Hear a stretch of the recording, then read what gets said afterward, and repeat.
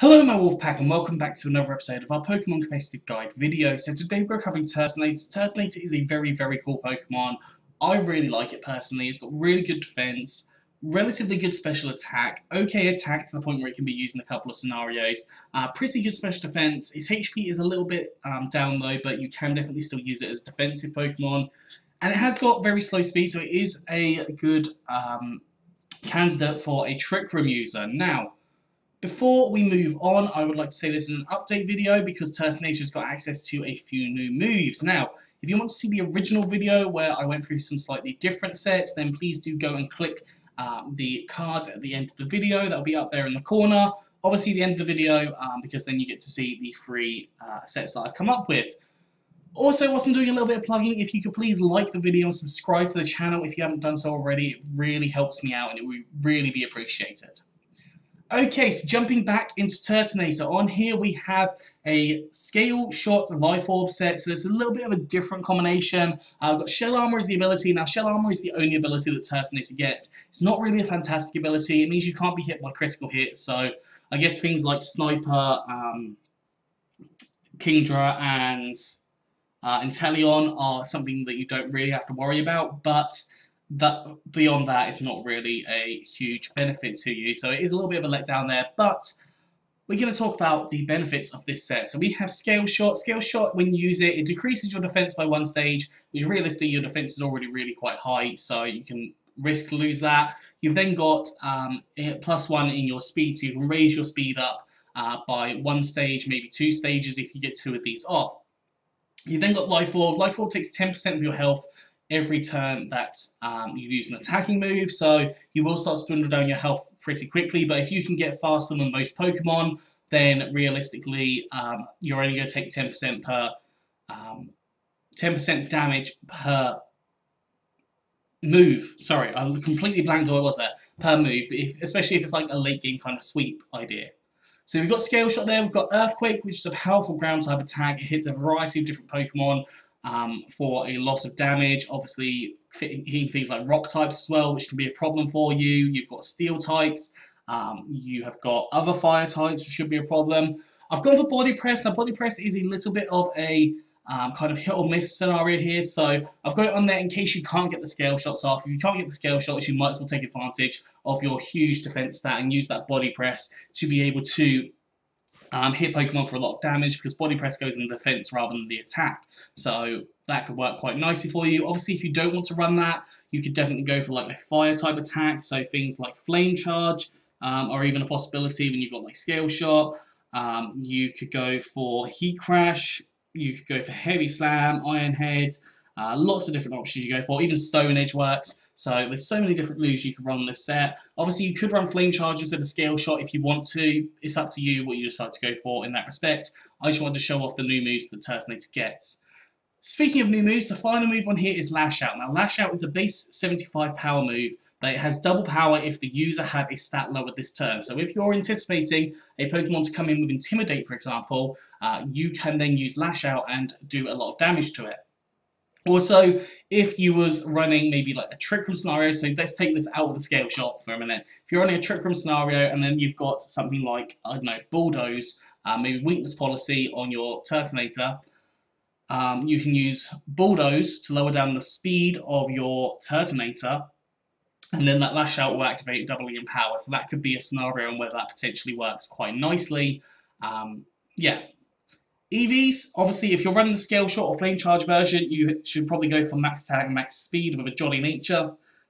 So more speed, less special attack. Um, sorry, just got the kind of hiccups there, got something in my throat. Um, if you're going for the kind of body press scenario here, you're taking scale shot out, then I recommend going max HP, uh, max attack for that scenario, probably with an adamant nature.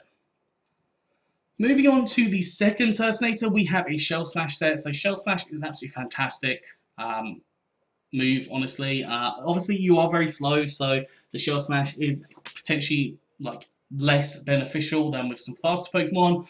But we can use Shell Smash and then activate the White Herb, so you get plus 2 in your attack, special attack, and speed.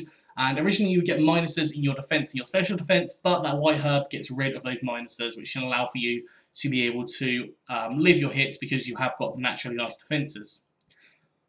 Move-wise, I've gone for Shell Trap. Now, Shell Trap is obviously the uh, move that uh, has gone for, but before moving, you must take physical damage, so obviously do be kind of cautious with this. Um, if you want to go for something alternative, maybe like Heat Crash could work, um, but Shell Trap can potentially work if you're going off against like a banded Pokemon, for example. It is quite scenario specific, but I did want to just show off Shell Trap because it can be a really cool move when used correctly. We've then got Dragon Pulse, which is a, oh sorry, you use Flamethrower Fire Blast instead of Shell Trap, sorry, not, not like the Heat Crash, because you're going special rather than physical. Dragon Pulse, powerful Dragon type attack, hits a variety of different Pokemon, and then I put Hyper Voice on here as well, just to get you a little bit more coverage on some different um, moves, because typically Turtonator doesn't get a huge amount of variety in its moveset. You could go for Scorching Sand. Scorching Sand would actually be uh, pretty good for you because it's a ground type attack, it hits a variety of Pokemon, um, including things like uh, Rock type and Steel types, as I already said. Now, EVs. What you probably want to go for is max, speed, max special attack and max speed. And depending on what your speed tiers are looking like and what you're predicting different Pokemon to come, especially if you're in a draft league, you probably want to go for a modest nature or a timid nature. So modest increases your special attack, timid increases your speed. So if you want to be as fast as possible, because 342 speed, you can still be outspeed by a lot of Pokemon at that point. So if you want to go for that plus in the speed, you can definitely go for it in that scenario. If you want to, it's entirely up to you. Moving on to our final set. This is a Dynamax set. I've put, I've put, sorry, choice specs. I can't talk. I put choice specs on here.